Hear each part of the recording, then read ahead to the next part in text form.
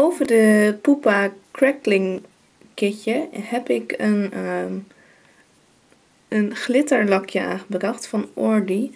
En dit is... Even kijken... Shine on Crazy Diamond. En hij lijkt wel een beetje op Fairy Dust van China Glaze, maar hij is minder uh, dicht, zeg maar. Dus die heb ik er nog overheen aangebracht. En dat zorgt ervoor dat je geen hobbels hebt in je crackling. En dat je hele leuke kleine glittertjes er doorheen hebt. Ik hoop dat jullie het zo een beetje kunnen zien. Dus die heb ik nog aangebracht. In één laagje heb ik dat gedaan.